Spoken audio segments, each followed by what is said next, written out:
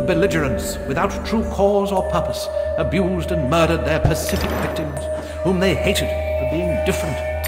The invaders corrupted the vivid world. The assaulted could not comprehend the merciless brutality. Still, they stayed on, trying to placate their oppressors and recover their past.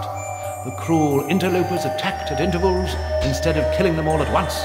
The wretched survivors suffered in perpetual fear. Is there a worse fate?